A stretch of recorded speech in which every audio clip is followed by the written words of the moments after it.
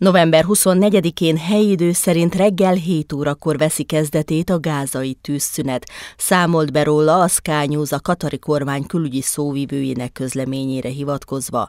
Az első túszokat péntek délután 4 órakor engedik szabadon. Mayed al-Ansari elmondta, hogy az első csoportban 13 túsz fog szabadulni.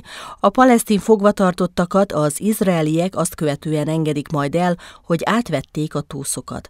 Ansari megerő megerősítette, hogy a tűzszünet a korábbi megállapodásnak megfelelően négy napig fog tartani.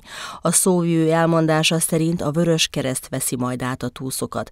Egyben hozzátette, hogy a humanitárius segélyszállítmányokat is pénteken reggel héttől engedik be az övezetbe, amely több száz kamionnyi élelmet, vizet, orvosságot jelent.